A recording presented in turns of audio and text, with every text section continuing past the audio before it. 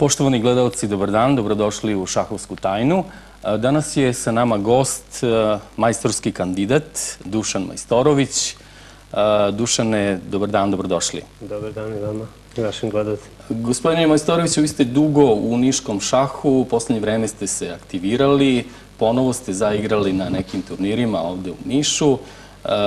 Recite nam koliko traje vaše druženje sa šahom.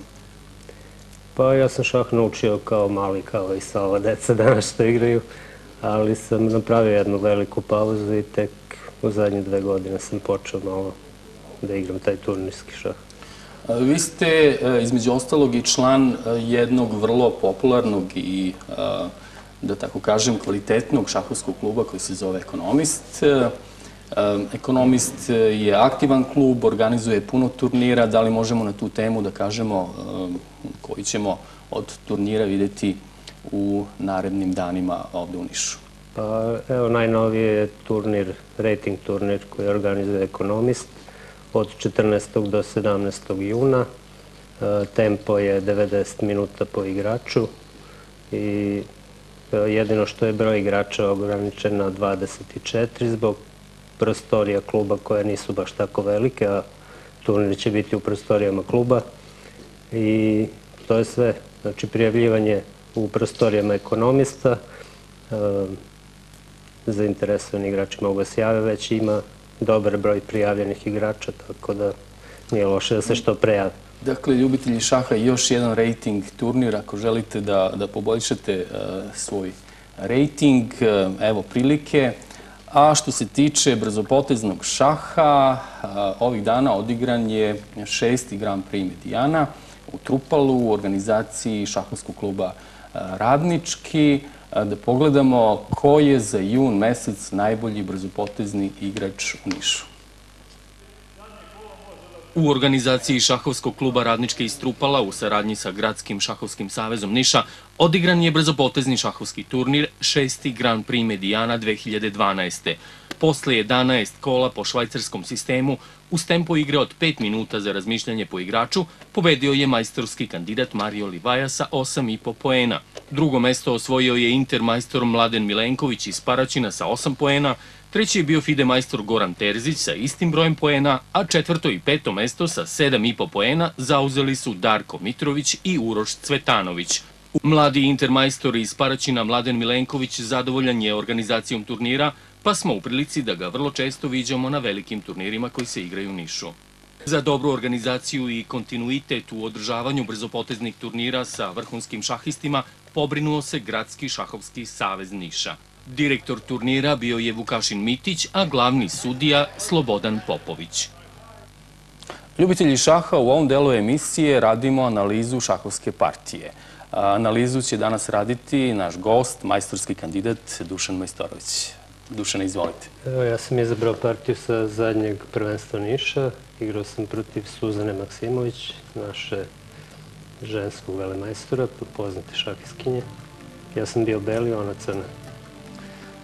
E, obično otvaram sa E4, ona je C5, e, skakač F3, skakač C6, D4, CD, skakač. Sicilijanka je igra. Sicilijanka, klasična. E, međutim, ona ovde igra potez Z5 koji se ne igra baš često, ali sam ja nešto pripremao tako da sam ja odigrao jedan potez koji praktično se i ne vidi više na turnirima. Računajući da možda neće ni ona da se snađe, a i ja nastavim baš dobro sa teorijom. E, tu sad ide neki, neki forsirani manevri.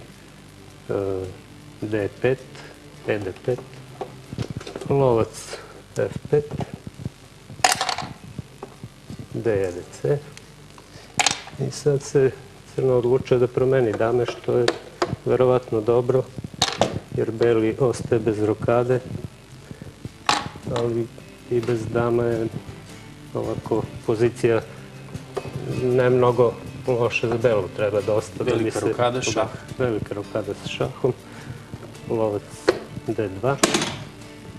Uh, I sada Ovde mislim da je ona napravila jednu grešku stratešku koja je posle odlučila partiju. Umesto da uzme BC i da nastavi igru, to ima izjednačena igra i pitanje šta bi bilo. Ona igra B6 i ostavlja ovog pešaka koji je praktično odlučio partiju. Na to sam onda igrao skakač C3, jer Beli ima sad problem da malo razvija ove figure, kralj mu stoji nezgodno. Tu sada možda još jedan potez koji nije dobar. Lovac B, B4. Ja se sklanjam iz maske. I ona mi daje još jedan tempo. Nosi na C3. Normalno moram da nosim. Znači ostaje bez lovačkog para i i postavlja ovog pešaka koji visi tako da mi daje tempo da mogu ovog pešaka sačuvati. F6 čuva pešaka i onda dolazi B4 potez koji će praktično reši partiju. Skakač E7, pada ovog pešaka, B5. Povezali ste slavu Povezali smo pešaka, povezao sam pešake i to je sad ono što će odluči partiju, samo je bila stvar znači da Beli konsoliduje svoje figure i da uvede to u igru. S tim što vi imate lovački par. Da. E, skakač D5, išlo dalje u partiji, lovac D2, top D6, to su neki ovako potezi manje više očekivani, lovac C2, top sa H na D8, sad Belo uzima tu liniju, ali nije toliko opasno. Ja sam se odlučio da ovde učvrstim tu strukturu na daminom krilu i da čekam trenutak kada će tu da realizuje. Um, i još jedan potez koji ne znam koliko je dobar, ne bih baš puno ni komentarisao, jer ipak ja kao majstor. A5. I ja ovako uvodim sve figure u igru da da bi mogao da igram normalnu partiju do kraja. Kralj C7, kralj B2 i sada i topovi imaju Koordinaciju. koordinaciju i mislim da sve figure tu i sad je bila samo stvar tehnike kako realizovati tu prednost praktično ovog pešaka koji će da odluči partiju. E, posle toga je išlo lovac C6, G3, uzimam i ovo polje za skakača, G5, lovac C1, da mogu ja da kontrolišem tu D liniju, skakač E7, top D6, meni je odgovaralo izmjena u trenutku, top D6.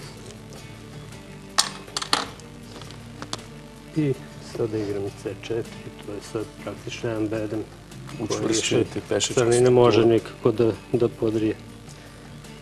Skakač F5, dalje išlo u partiji, C5 sa daljim prodorom. Ne sme da nosi zato što lovac uzima ovog pešaka. Da, ide sa šakom i, i tu je posle praktično tri Dva pešaka. Tri ostaje jer ovaj ide na... Da. I to bi bilo gotovo. E, znači top je napadnut, mora top D8. Sada i- uvodim i ovog zadnjeg topa koji praktično ništa još nije radio. Skakaš D4, lovac C3, znači pritisak na tu tačku, to je jedan fini potez, znači pošto ako ne ide uzimanje jer ima šah i onda visi topa koju ide dole, praktično je izgubljen. Znači ne ide nošenje na E2. E, lovac F5, top D2, znači sada česućujem i to, top D5. E, I sad ona, sam trenutak vidim. Mhm. Ovde sam se odlučio, znači da, da praktično realizujem tu prednost koju imam, da B6 bome. šah. D sa šahom, kralj B6, to je iznuđeno. I sada lovac D1, da uvedem i njegu u. Čuvate lovački Pa, par? Čuvam lovački par i kontrolišem sva polja praktično. E, top D8, praktično ona nema šta da igra. Lovac D4, nosim sada praktično uprošćujem poziciju. E, pozicija, D, D. I sada vodim i ovu zadnju figuru da praktično skroz u prostnu poziciju. Lovac C2, D3, igra. Lovac B3, top. E8, neke još zadnje pretnje, ali posle lovac C4 i top. E4, kralj Kralj C3, prilazi. top E1 i posle lovac D3 i ovo prednost koja ne može da se praktično nikako spreči. Da, dva vezana pešaka na B i C liniji, teško je zaustaviti. Praktično onaj pešak je se odlučio pa to bi bila analiza šahovske partije. Zahvaljujemo se majstorskom kandidatu Dušanu Majstoroviću, a mi idemo dalje.